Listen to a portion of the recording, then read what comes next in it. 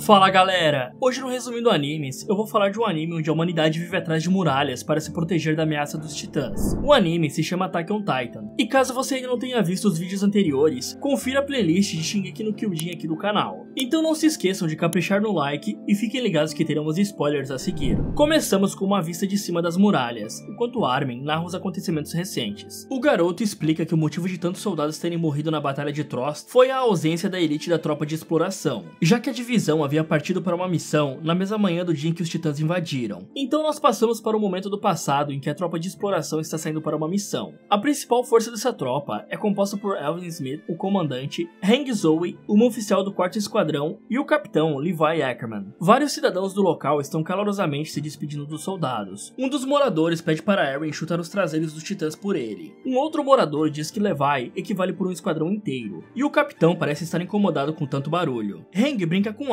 Falando que aposta que os cidadãos não o adorariam tanto se soubessem que ele é um lunático obsessivo por limpeza. O portão é aberto e Zoe se mostra empolgada, comentando que adoraria ver alguns dos mais anormais, se referindo aos titãs raros, como aquele que saltou e mordeu Thomas. Então Levi faz uma piadinha, dizendo que já poderia ver um anormal ali mesmo, que é Heng. Armin continua narrando os acontecimentos. Ele explica que a missão da tropa de exploração é explorar os arredores da muralha e estabelecer bases para promover o avanço dos humanos, e que o grupo é composto pelos melhores e mais brilhantes soldados da humanidade, que a engenhosidade deles aumentou a taxa de sobrevivência para todos, mas que ainda assim, quando essa tropa avança sobre o território dos titãs, as perdas são superiores a 30%. Então nós vemos um soldado da exploração na boca de uma das criaturas, prestes a ser comido vivo. O combatente chama o titã de filha da mãe, e diz que a humanidade acabará com todos eles. O rapaz perfura a criatura no rosto com a sua espada, e isso faz com que o titã decida morder com mais força. Então o soldado tenta ameaçar o monstro, falando que o capitão Levi iria matar todos eles. De repente, Ackerman chega até o local e, num golpe giratório, corta a nuca do titã que estava mordendo o rapaz. Levi olha para os lados e verifica a quantidade de titãs no local. Logo em seguida, Petra chega até lá e traz reforços consigo. O capitão pede que a moça preste socorro ao soldado ferido e ordena que os dois homens cuidem do lado direito do local, enquanto ele se encarrega do esquerdo. Hang elimina um titã e Levi caminha na direção de dois. Ele usa os ganchos e chega até as costas de um dos titãs, o finalizando rapidamente. Ackerman arremessa suas lâminas na outra criatura, para a cegar. Então ele sobe na cabeça do gigante, pedindo para o titã ficar parado. Caso contrário, não conseguiria um corte limpo e perfeito. O capitão recarrega suas lâminas e corta a nuca da criatura. Ele se zanga por ter sujado as suas mãos de sangue e usa um paninho para se limpar, pois é obsessivo por limpeza. Levi chega até Petra e a moça está tentando socorrer o soldado que foi mordido. Ela se mostra preocupada e diz que não está conseguindo parar o sangramento. O garoto ferido chama pelo seu capitão,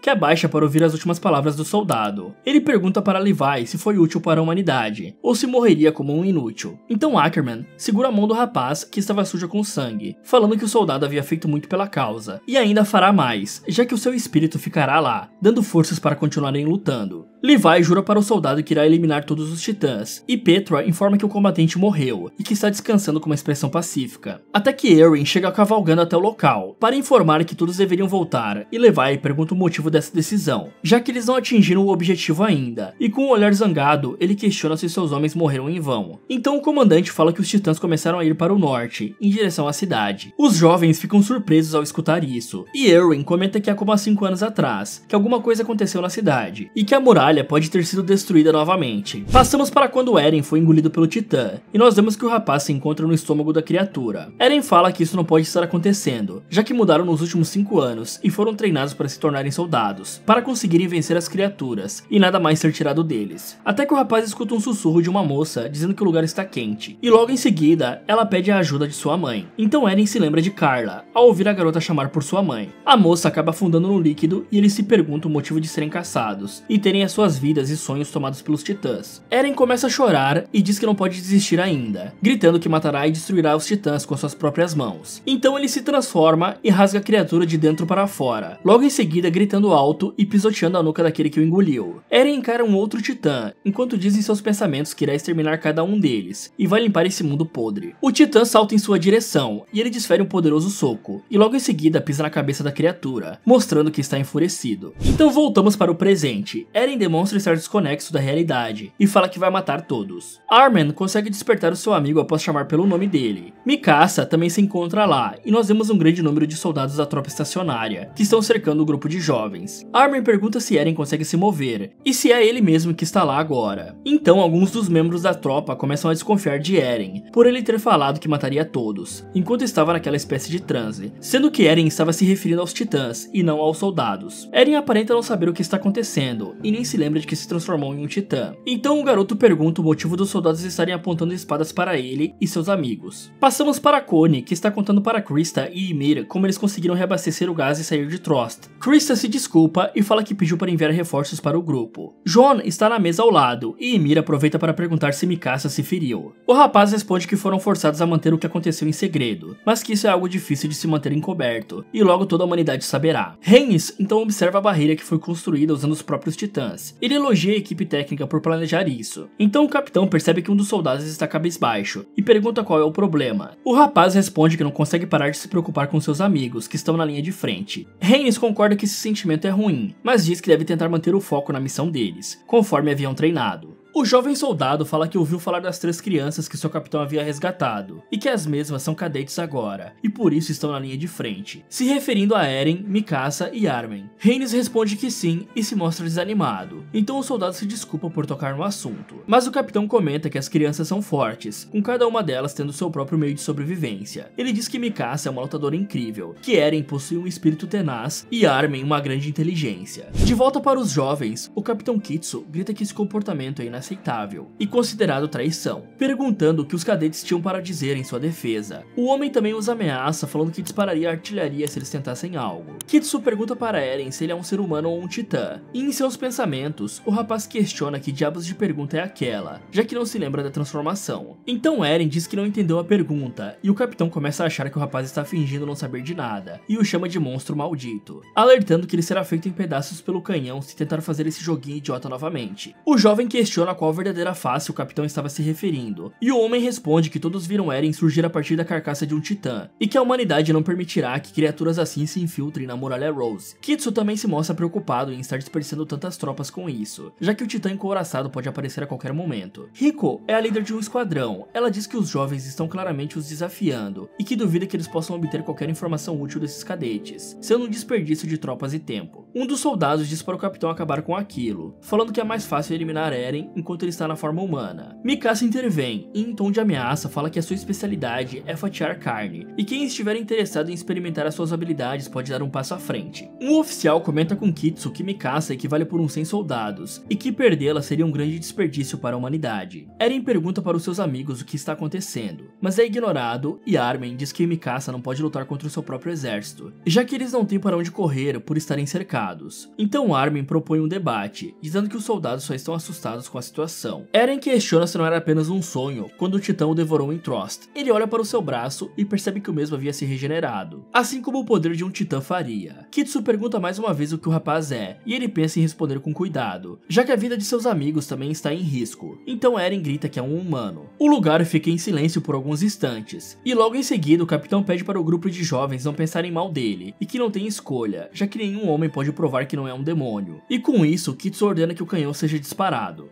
Então Mikasa segura Eren no seu ombro e tenta escapar. Mas o rapaz olha para a chave do porão em seu pescoço e começa a se lembrar de quando seu pai havia lhe dito para sempre manter o objeto consigo. Passamos para as memórias de Eren. Grisha está prestes a injetar uma substância misteriosa em seu filho, que por consequência iria danificar as memórias do garoto. O doutor começa a chorar e avisa que é inútil explicar isso agora, visto que Eren não se lembraria por conta da injeção. Entretanto, ele pede para que o jovem tente se recordar de voltar para a Muralha Maria e chegar até o porão da casa deles. Então Grisha injeta a substância em seu filho e diz que isso será útil quando a hora certa chegar, e que as suas memórias o mostrarão como usá-lo. De volta ao momento atual, Kitsu ordena o disparo do canhão, enquanto Eren desce do ombro de Mikasa e corre na direção de Armin. Ele segura ambos e logo em seguida morde o seu dedo. O garoto se transforma e para o disparo do canhão usando a carcaça de seu titã. Todos ficam desacreditados ao ver a monstruosidade que Eren havia se transformado. Marco conversa com um recruta chamado Das, que está passando por um ataque de pânico por conta dos acontecimentos recentes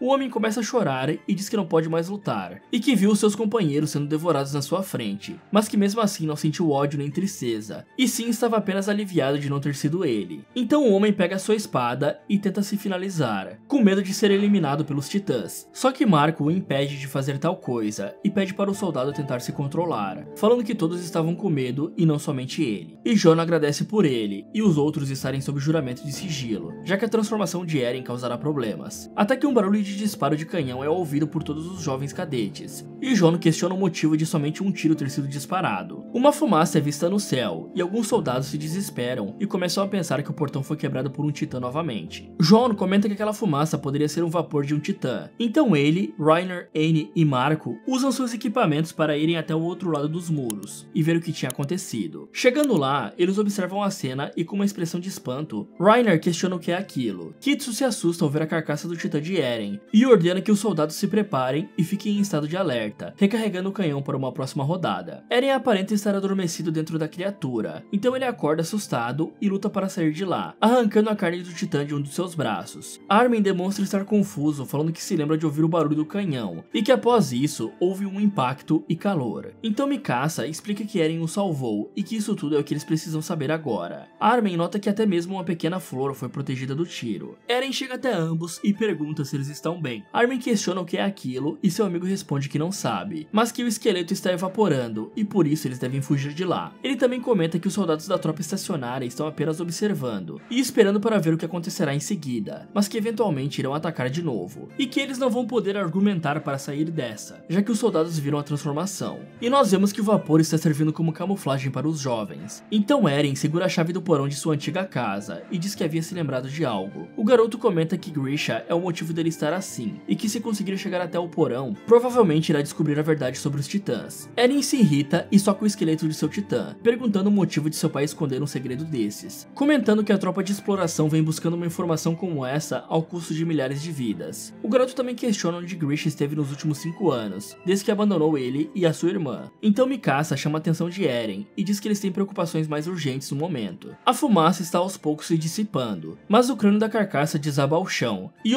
obstrui a visão dos soldados estacionários. Eren comenta que planeja passar por cima dos muros e chegar até o porão de sua antiga casa, e que para isso irá tentar se transformar em Titã novamente. Ele comenta que não sabe como a transformação funciona, mas acha que consegue fazer isso, já que antes estava apenas concentrado em bloquear o disparo do canhão, e por conta disso, o Titã não tinha nenhuma real funcionalidade ou durabilidade, revelando que dessa vez tentará algo mais forte, como a forma de 15 metros que ele se transformou anteriormente, para bater os outros titãs. Então Mikasa alerta que o nariz de Eren está sangrando, e Armin também nota que o rosto do rapaz está pálido, avisando que a transformação claramente coloca muita pressão no corpo dele. Mas o garoto fala que não se importa se está em más condições, e avisa para os seus amigos não tentarem o encobrir, para os soldados não abaterem eles. Mikasa diz que irá junto com ele, e Eren discorda, falando que não é o irmãozinho dela ou seu filho. Hiko informa o capitão que a próxima rodada está quase terminando de ser carregada, e Kitsu diz para guardarem o seu sinal. Armin fala que a guarnição parece não ter planos de iniciar o próximo ataque ainda, já que Mikasa tem os sentidos aguçados, e por conta disso ela teria notado alguma movimentação. Então Armin começa a se lembrar de sua infância, quando Eren e Mikasa o salvaram várias vezes dos valentões. O garoto pensa que ainda continua sendo um covarde, incapaz de retribuir os favores que seus amigos o fizeram, se questionando como poderia acompanhar ambos desse jeito. Então Eren revela o seu plano B. Ele pede para que Armin faça o apelo final, e diz estar plenamente consciente de como esse plano é irrealista, mas que ainda assim a melhor opção é tentar usar o poder do seu titã para ajudar a guarnição. O rapaz pergunta se o seu amigo está confiante de que pode convencer os soldados, senão ele usará o primeiro plano. Armin se mostra confuso, por seu amigo deixar uma decisão tão importante como essa nas mãos dele, e Eren explica que não importa o quão terrível as coisas fiquem, Armin sempre descobre a melhor solução, como há 5 anos atrás, na invasão da Muralha Maria, quando Armin chamou Reins para vir ajudar ele e Mikasa, os impedindo de serem devorados por um titã. E com isso, Armin se dá conta de que todos aqueles pensamentos negativos eram coisas da sua cabeça, que ele estava apenas se convencendo de que era inútil esse tempo todo, e que Mikasa e Eren não pensam isso dele. Riko avisa o capitão que o canhão terminou de ser carregado, então Armin se levanta e se sente encorajado para salvar os seus amigos. Ele pede para Mikasa e Eren fazerem o seu melhor para mostrar que não pretendem resistir. Armin deixa o seu cinto com os equipamentos no chão, para mostrar aos combatentes que ele não é uma ameaça, e em seguida começa a correr para fora da fumaça. Kitsu se assusta e os soldados apontam as armas para o garoto. Armin levanta as duas mãos para mostrar que não é perigoso, enquanto Kitsu grita que Eren havia finalmente mostrado a sua verdadeira face. Então o jovem responde que Eren não é um inimigo da humanidade e que estão dispostos a compartilhar todas as informações que reuniram. Mas Kitsu diz que implorar por suas vidas é inútil agora, e que se Armin diz que seu amigo não é uma ameaça, ele deveria provar isso. Do contrário, serão eliminados. Armin responde que não há necessidade de mais provas, já que muitos dos soldados viram Eren transformado, eliminando outros titãs, como também várias das criaturas se juntando para tentar abater o rapaz. Ele também fala que os monstros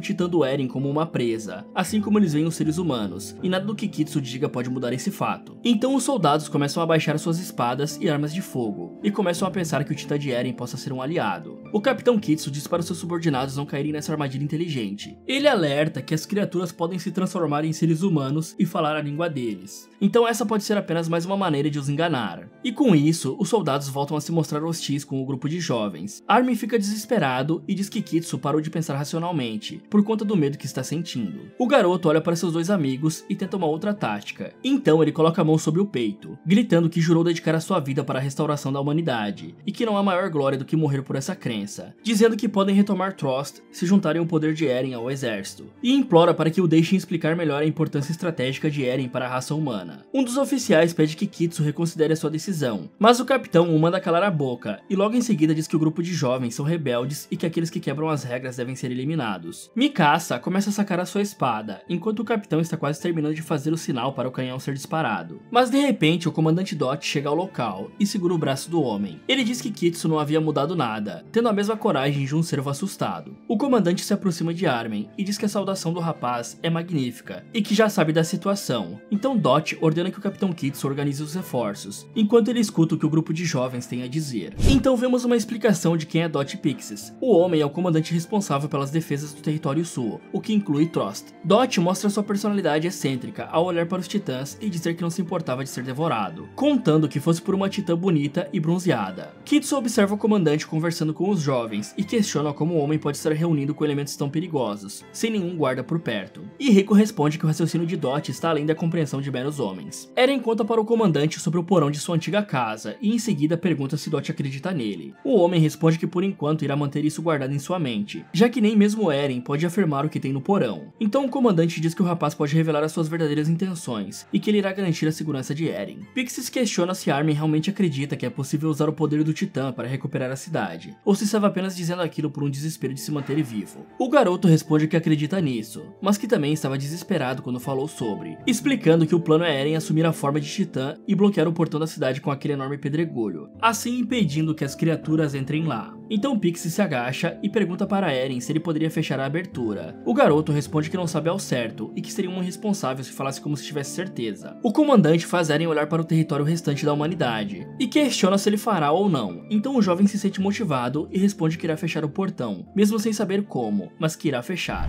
Fala galera, vocês acharam que o grupo de jovens seria eliminados por Kitsu? Ficaram surpresos quando Eren se transformou em titã e parou a bala de canhão? E se um parasita alien tomasse conta da sua mão direita, o que você faria? Quer saber o que Shinichi irá fazer com a sua nova mão? Então clique aqui nesse vídeo, ou aproveite para ver outras sugestões aqui do Resumindo Animes. Muito obrigado por assistir e até o próximo.